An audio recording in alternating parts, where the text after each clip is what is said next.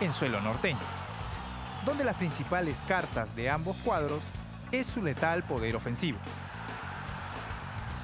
En Universitario, mejor visitante junto a Melgar de la Apertura, los goles tienen nombre y apellido.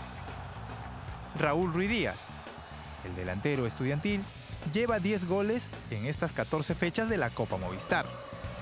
El dato más sobresaliente de Ruiz Díaz es que fuera de casa marcó 5 tantos, es decir, el 50% de sus goles. El otro anotador del elenco crema es Christopher González. El talentoso volante crema tiene 4 goles. González, quien viene recuperándose de una lesión, celebró en dos ocasiones lejos del Monumental. La primera ante Cienciano y la segunda ante San Martín. En el otro bando, Juan Aurich, Hernán Rengifo y Germán Pacheco son la carta de gol del elenco de Roberto Mosquera. El atacante chiclayano es efectivo jugando en el Elías Aguirre, donde marcó 6 de sus 8 goles en lo que va del campeonato.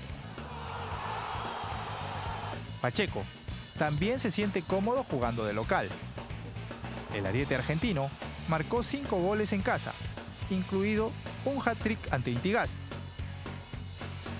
Como vemos, el partido del sábado no solo tendrá buen fútbol y garra, sino también goles, ya que entre estas duplas goleadoras suman 28 tantos.